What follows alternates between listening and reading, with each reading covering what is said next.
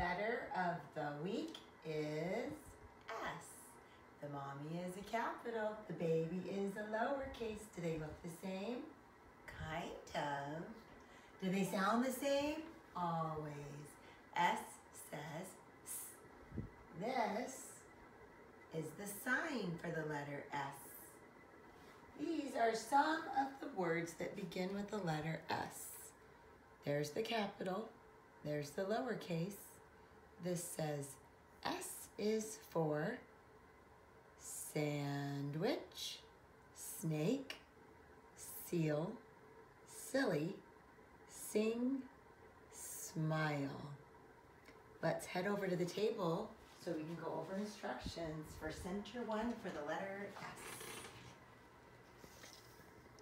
The first thing that we're going to do is dress this S up like a snake. So you slide the paper clip off, the pieces over to the side, and make a pointy finger. We're gonna trace it three times, starting at the top, because our letters always start at the top, top, top. Are you ready? It goes like this. Wee! Stop. Wee! Stop. One more time. Wee! Stop. And make the sign for the letter S. S, s snake. This down here says snake.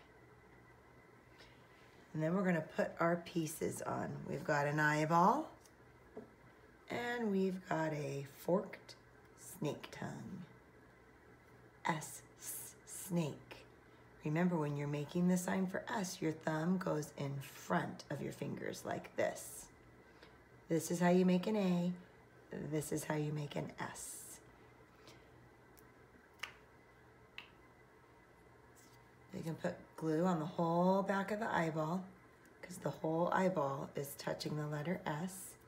And then on the back of this little snake tongue, we're just gonna do a little dot as a lot. And then we'll stick it down. That was easy peasy. Make sure you always put your lid back on your glue stick.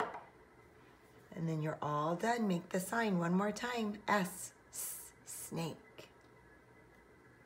Next, we'll go over instructions for handwriting. Make sure you have three markers close by and then pick one that you're gonna use for your handwriting. We use the same color for the whole page. I'm gonna do gray today. What color did you choose? Make sure you've got the proper grip all the way down near the tip we start at the top on the left side and we'll trace the letters all the way across that whole top row before moving down to the second row.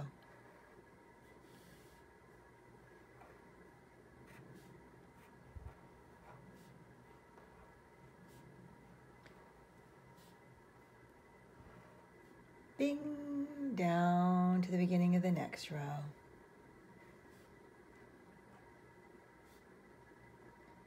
Maybe you're just watching these instructions and then you'll push pause and do your own handwriting.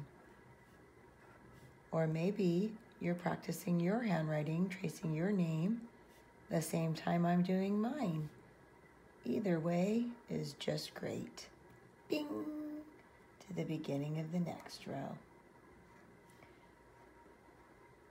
If you need to take a break and stretch your fingers out, you can always just push pause.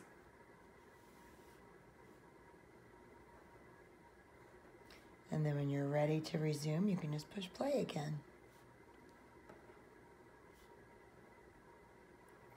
After you've traced all three rows of your name, we're going to come down here to the beginning of this fourth row. We're going to practice writing our name on the bottom row. Your first letter will be capital and the rest of your name will be lowercase.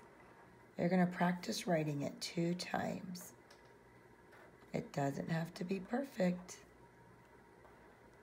We just do our best effort. Once you're done, you can put your lid back on the top of your marker. And then we're going to tuck your name underneath the letter of the week. Now pick a marker and we're going to do rainbow letters. So always starting with the letter on the left, which is the capital. It starts at the top. It goes Stop. Don't forget the lowercase in the same color. Wee. Stop.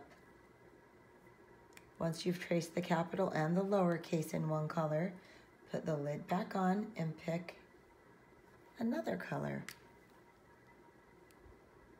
Maybe you chose the same color as me, or maybe you chose a different color. Either way is just great.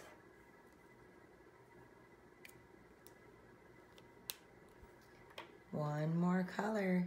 I'm going to trace the capital and the lowercase one more time.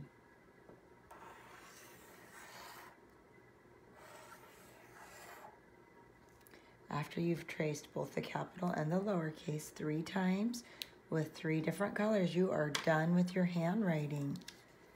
What do you think is going to be on the other side of this letter S? Did you guess a sandwich?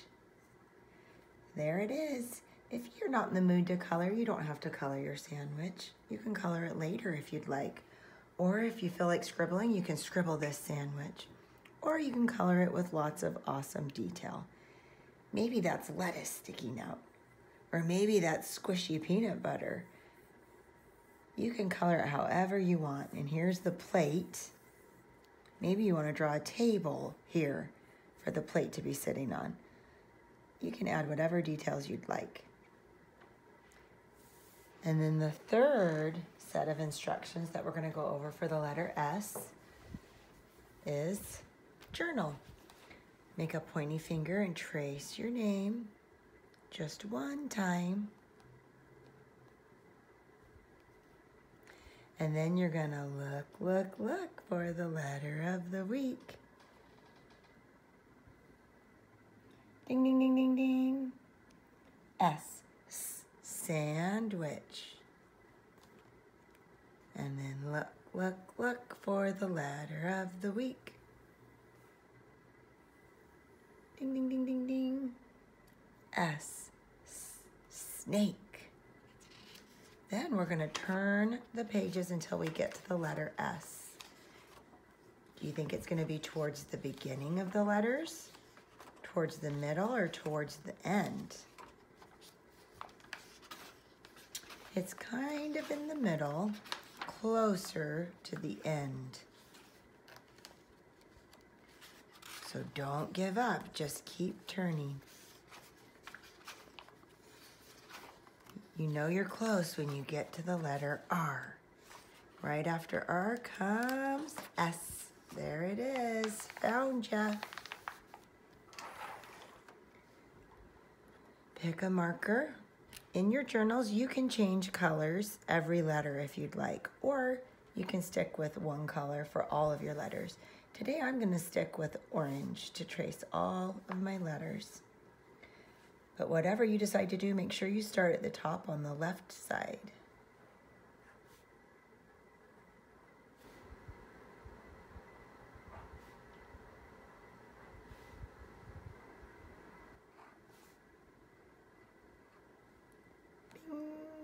Bing, row.